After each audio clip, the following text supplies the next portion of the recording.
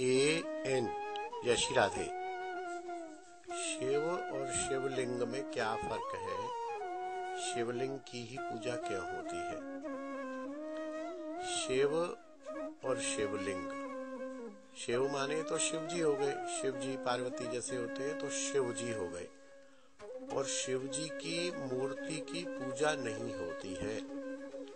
शिवलिंग माने लिंग, जो पुरुषों का लिंग होता है, उसी प्रकार शिव जी का लिंग। लिंग माने जननेन्द्रिय। और जो नीचे जलहरी होती है, उसको पार्वती जी की योनि का स्वरूप माना गया है। तो इस प्रकार जो शिवलिंग की पूजा होती है, लिंग और योनि शिव जी का लिंग और पार्वती जी की योनि की पूजा मानी जाती है। लिंग की पूजा ही होती है, शिव के विग्रह की पूजा नहीं होती है।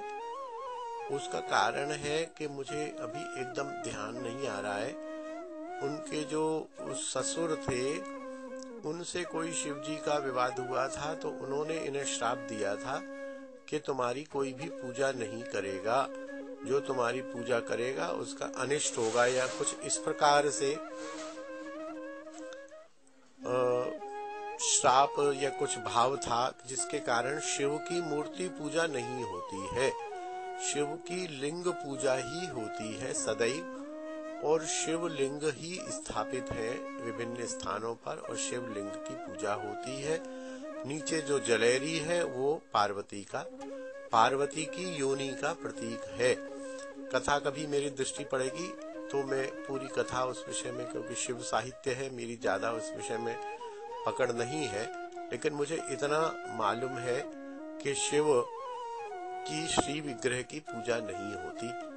और वैष्णव मत से यदि कहें तो वैष्णवा नाम अग्रगण्यम, इसलिए भी शिव अपनी पूजा कराना पसंद नहीं करते हैं, लेकिन फिर लिंग पूजा क्यों, ये भी प्रश्न हो सकता है। तो इसमें वो यदि कथा मुझे कहीं मिल जाती है तो सुनाऊँगा। लेकिन शिव के विग्रह को शिव कहते हैं और शिवलिंग का अर्थ वही लिंग और योनि है। जय श्री राधे।